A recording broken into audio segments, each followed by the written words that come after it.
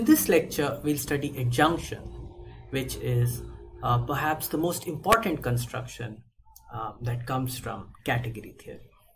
I'll start with an example which seems to have nothing to do with category theory, uh, which is the definition of a free group. So uh, recall free groups. Uh, you can look at week 3 of Algebra 1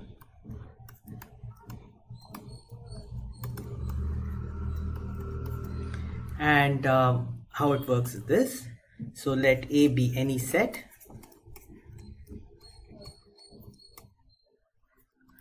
and um, a group word in a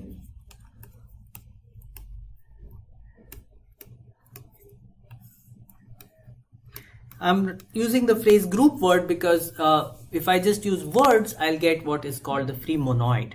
But I want to construct the free group. So group word in A is an expression of the form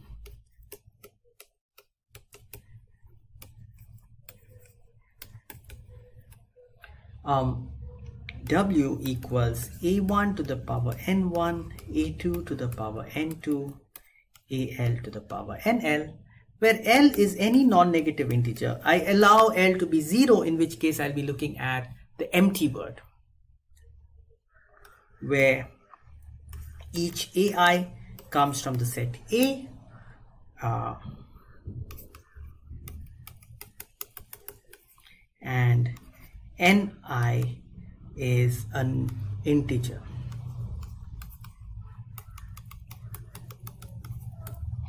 Okay, and a reduction of a word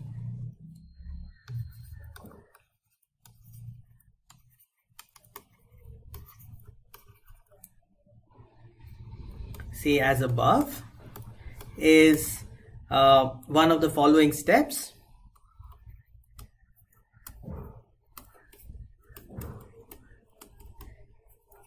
So what you do is um, you can delete a term of the form ai to the a to the power 0 because you can if, if any of the exponents in this w is 0 you can just delete that term.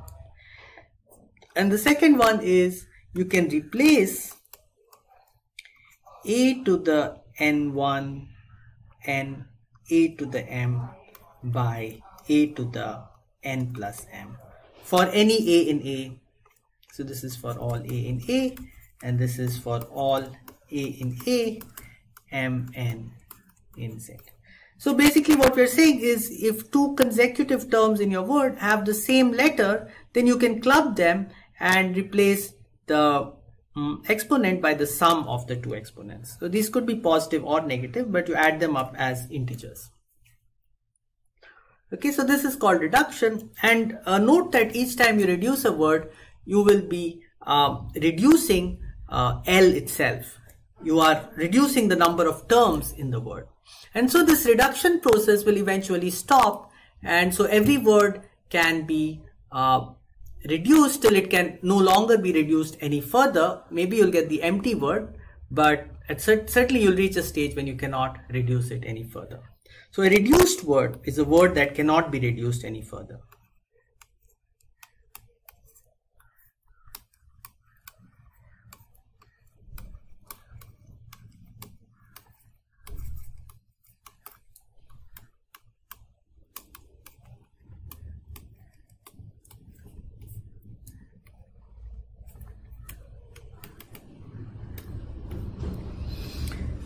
And now the free group of A is defined as follows.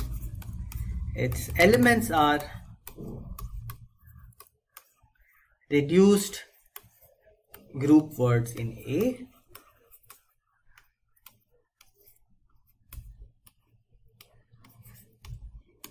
and its multiplication operation is a concatenation of words followed by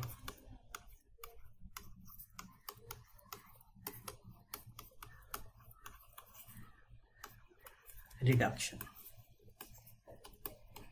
So if you have two words, a1 to the power n1, a2 to the power n2, al to the power nl, and say you have another word b1 to the power m1, b uh, k to the power mk, then their concatenation is uh, this word a1 power n1, al power nl, b1 power m1, bk power mk. Now this word, this concatenated word may not be reduced. It could be, for example, that al and b1 are equal, in which case you would have to club these two terms uh, to get a reduction. And after you reduct, uh, club them, it could happen that, you know, m1 is minus nl, in which case you know, those things cancel out and so on. So you may have to do a series of reductions. But uh, at the end of the day, you'll get a reduced word and that will be the pro that will be an element of the free group on A and so that will be the product of these two words and you can check uh, it's not very difficult to check that this is actually gives rise uh, to a group um, these things are, are done maybe in a slightly less generality in algebra 1 uh, this is also related when we studied uh, co-product in the category of groups so it turns out that uh, free group on A is actually A in A. Uh, so this is just integers, one copy for each A. This is uh, um, a direct sum in the category of groups. How does this work? Um, so we, we saw finite direct sums, it was uh, what we called an amalgamated product. So um, let uh, iota from A to free groups on A uh, be the function. So the free group on A be the function which takes A to A where this is to be thought of as the uh, one letter word.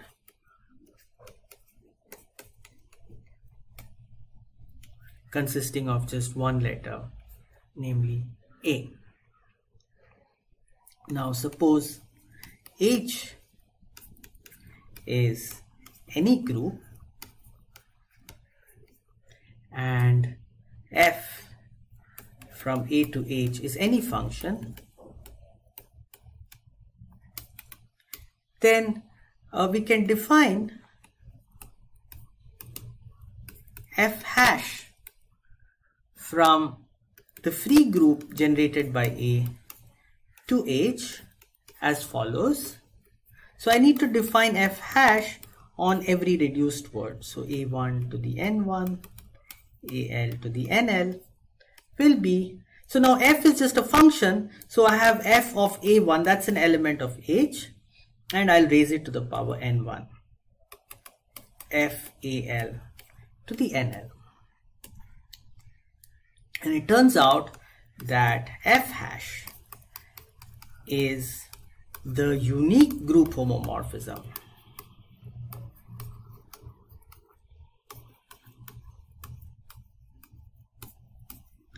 From the free group on A to H such that the diagram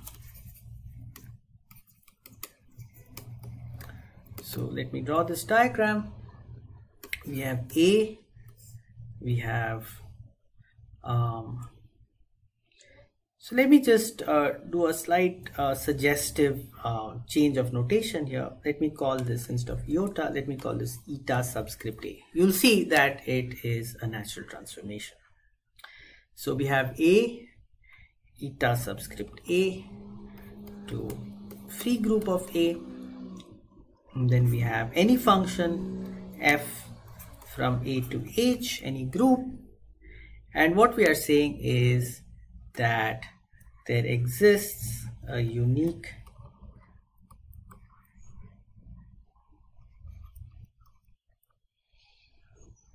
group homomorphism f hash from free groups of A to H. Okay, so this is um, a universal property of the free group on A. Viewed in another way, we have that set homomorphisms or arrows in the category of sets from A to omega H is the same as group arrows from free A to H where omega denotes the forgetful functor from the category of groups to the category of sets. Now this kind of situation is known as adjunction.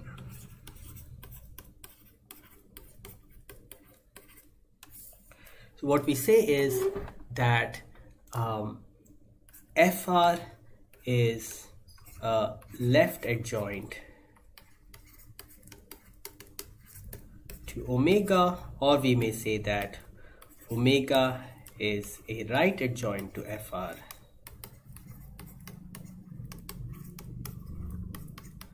or we may say that FR comma omega is an adjoint pair of functors. Okay, so here note that FR occurs on the left and omega occurs on the right. And you're allowed to go A morphisms from A to omega H. This was what we called F. And uh, arrows from free A to H. This is what we called F sharp. And this was a bijective correspondence.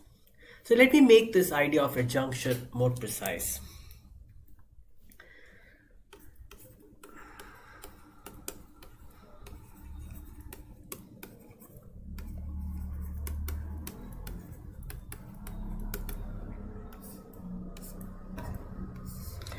So the situation is as follows. Suppose C and D are two categories.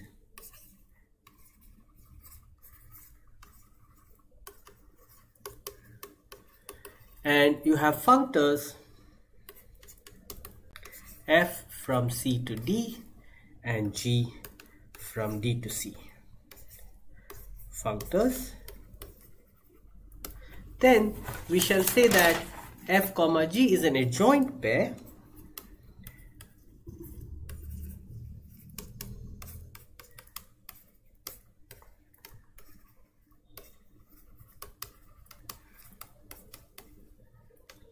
or as I explained before we will say that f is a left adjoint of g or we could say that g is a right adjoint of f if there exists a natural transformation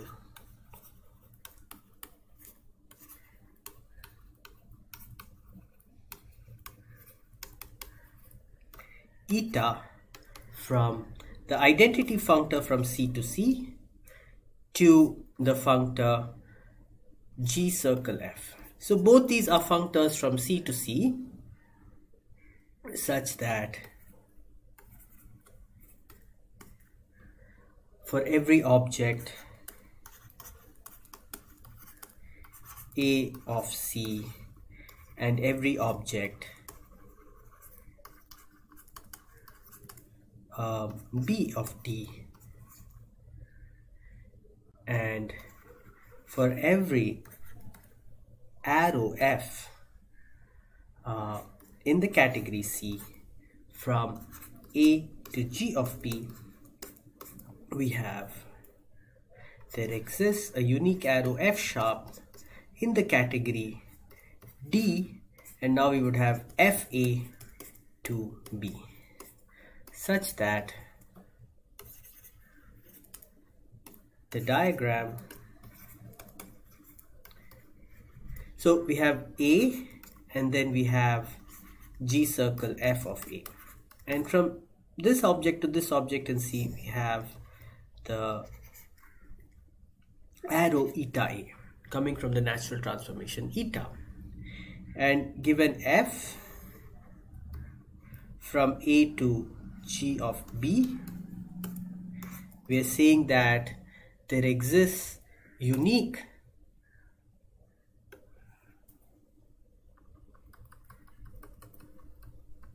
F sharp such that if you put G of F sharp here, not F sharp itself, but if you put G of F sharp here, then this diagram commutes.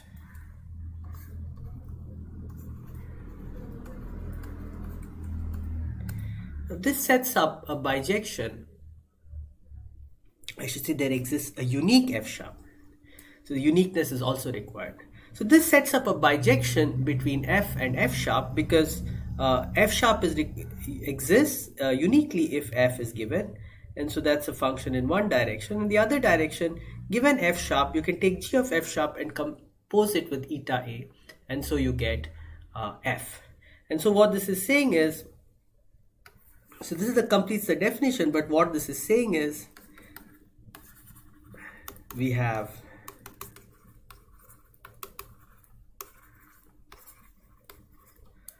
um, in the category C, the arrows from A to GB are in bijection with uh, the category D, the arrows from FA to B. In our example, we had taken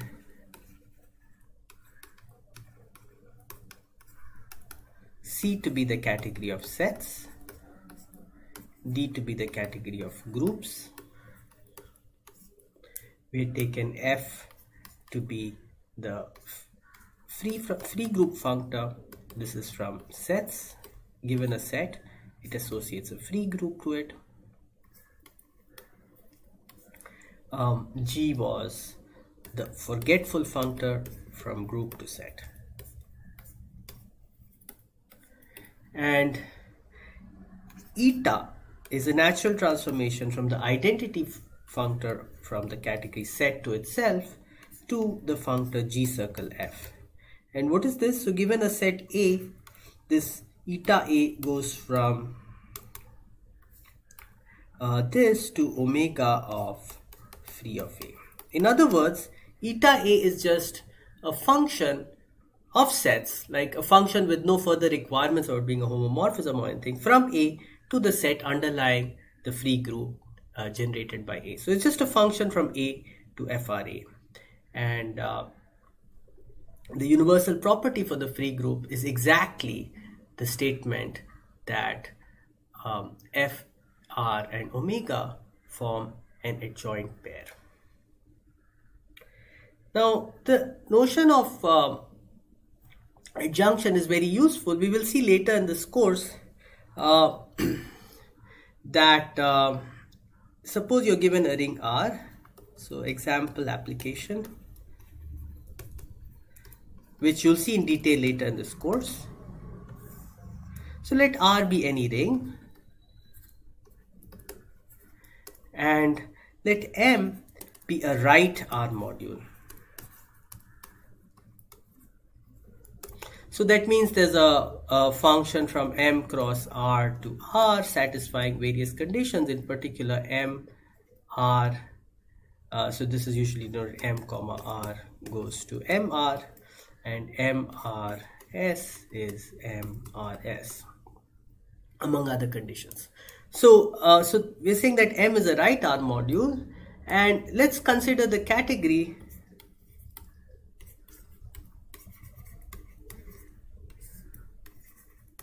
of left R modules.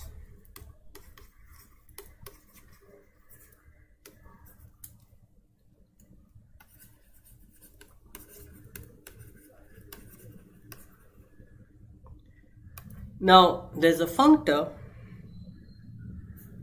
I'll call it hom uh, m comma dash. This is a functor from the category of abelian groups. So this is the category of abelian groups to the category of R modules, left R modules, which does the following. It takes an abelian group A and maps it to group homomorphisms from M to A. So if you have phi belongs to hom MA, you can think of phi, uh, define R phi to be uh, so for every r in the ring R, you can define R phi of M to be phi of mr for all m in m r in r and this makes HOM MA an R module.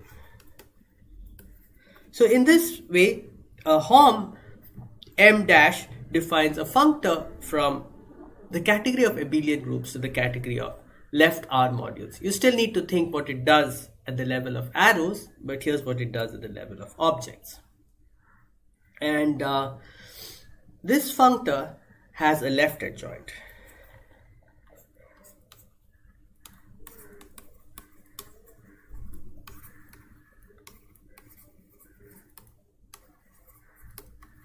and that's a functor called uh, tensor with m over r. This is a functor from the category of R modules to the category of abelian groups. And what it does is it takes an R module n and maps it to the abelian group M tensor over R M. This will be explained later in the course. And so the adjunction here says that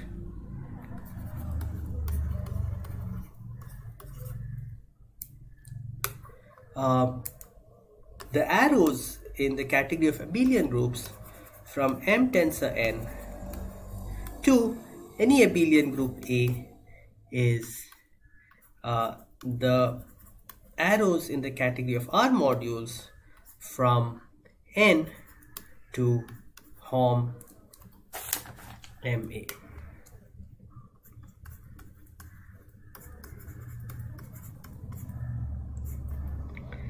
And uh, you can um, well if you know a little bit about tensors what it does here if you have phi here and psi here then they are related by the following equations.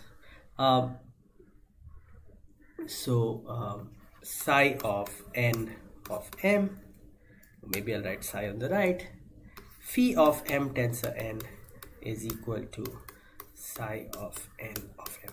So you can use this identity to define phi in terms of psi and psi in terms of phi.